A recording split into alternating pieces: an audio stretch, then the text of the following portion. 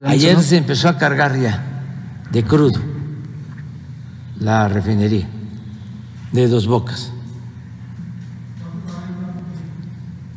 Pues eh, en una primera etapa como 80 mil. Sí, este año. Yo, yo pienso que para principios del año próximo ya va a estar procesando 340 mil barriles de crudo.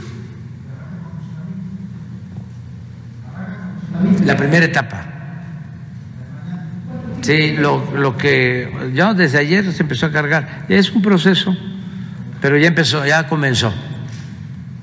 Este es una obra única en el mundo, porque se hizo en un tiempo récord.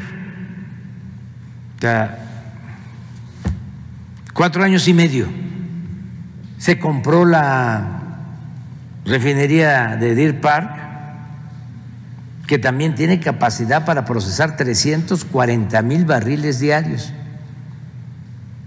Y ya terminamos la refinería de Dos Bocas, que va a iniciar con 80, 100 mil barriles diarios y el año próximo va a tener ya capacidad plena 340 mil barriles diarios. Con todo esto, ya no vamos a comprar gasolinas en el extranjero. Antes de que yo termine el gobierno, vamos a ser autosuficientes. ¿Y en qué se ayuda la nación? Aparte de que somos más independientes, en que pagamos la gasolina a menor precio. Ya no hay gasolinazos.